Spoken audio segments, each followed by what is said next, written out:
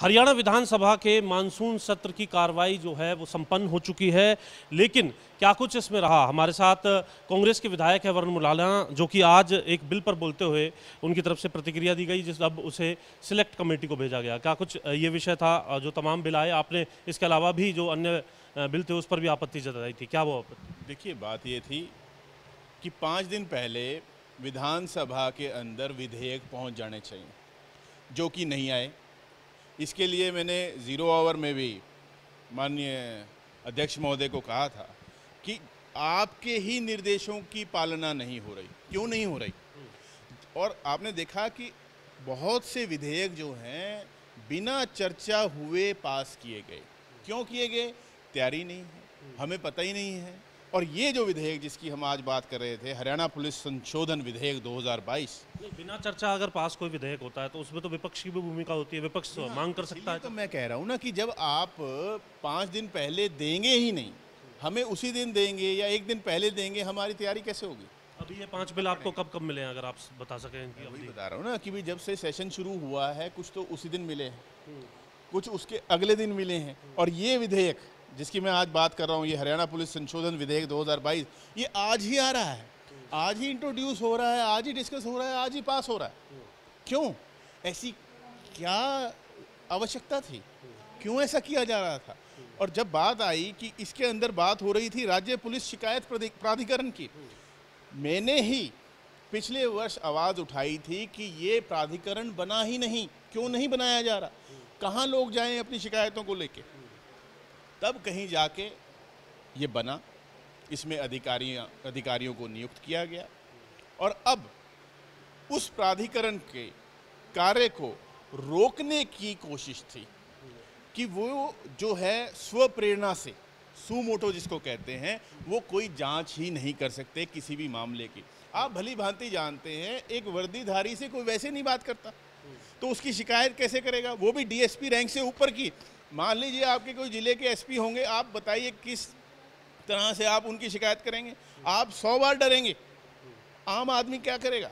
कैसे शिकायत करेगा? तो बहुत से ऐसे मामले संज्ञान में आते हैं माननीय न्यायालयों के भी आते हैं वो स्यूमोटो जो हैं स्व प्रेरणा से जो हैं वो जाँच करते हैं। तो क्या ये ये पॉइंट इसके अंदर नहीं शामिल किया गया? ये हटाया जा रहा था ये हटाया जा रहा। कि स्व प्रेरणा से कोई भी मामले की जाँच ये राज्य पुलिस शिकायत प्राधिकरण नहीं कर सकता। इसका मैंने विरोध किया कि क्यों नहीं कर सकता? मान लीजिए, कोई समाचार पत्र में बात आई कि हाँ किसी के साथ जाती हुई है तो क्यों नहीं, ये जो प्राधिकरण है, ये क्यों नहीं जाँच कर सकता? और ये सिर्फ़ जाँच कर सकता है, ये सजा नहीं दे सकता। जाँच करने में आप क्यों रोक रहे हैं इनको? इनको जाँच करने दीजिए। आपको सही लगेगा, सही है, नहीं तो ना सही। और ये ये कोई जब सज़ा दे ही नहीं सकते। और फिर मैंने पूछा भी ऐसी जल्दी क्या है? आज ही आप इस बिल को लेके आ रहे हैं। आज ही आप चाहते हैं ये पास हो जाए और आप बता दें कि कितनी जाँच के मामले इस प्राधिकरण के पास आए हैं कि कितना मिसयूज़ हो गया कि अगर आपको लगता है कि इसमें कोई गलतियाँ हो रही हैं कि जी बहुत ज़्यादा मामले जो हैं ये स्व सौ मोटो का भी कोई डाटा है? हाँ कि स्व प्रेरणा से कितने मामले ले लिए आप बता दें। क्या आवश्यकता हो गई? क्या जल्दबाजी है? उसका कोई जवाब नहीं था। और इसीलिए फिर ये मांग की गई भी इसको डेफर करो। और फिर उप मुख्यमंत्री जी ने बात रखी कि हाँ इसको सिलेक्ट कमेटी को सिलेक्ट कमेटी को इसको भेजा गया है। तो आप संतुष्ट हैं? ये तमाम हाँ, विषय हाँ, जो है जी हाँ अभी तक हमने देखा विधानसभा के अंदर एक और जहाँ शून्य काल की जो पहल है वो पहले ही हमने देखी थी। इस बार हमने देखा कि स्पीकर ज्ञानचंद गुप्ता ने ये वक्त भी दिया कि जिन विधायकों ने अभी तक अपनी कोई भी बात नहीं रखी है तो दो दो मिनट वो अपनी बात जो है रख सकते हैं। इस, इस परंपरा को कैसे देखते हैं देखिए इसमें कोई दो राय नहीं कि चाहे दो मिनट कम है, लेकिन मौका तो दिया कि वो विधायक जो अपनी विधानसभा को रिप्रेजेंट करते हैं, उन्हें तीन दिन में कोई एक बार भी बोलने का मौका ना मिले तो वो बहुत दुखद होता। तो ये हम उनका धन्यवाद करेंगे और हम तो चाहते ही थे कि ये सदन और लंबा चले। सबको बोलने का मौका दिया जाए। यहाँ चुन के किस लिए आए? हमारे पास और कोई स्थान नहीं है अपनी बात रखने का। ये विधानसभा ही है, जहाँ विधायक अपनी बात रख सकते हैं। अगर यही मौका नहीं मिलेगा तो कहाँ मिलेगा? तो जितना लंबा हो, उतना होना चाहिए।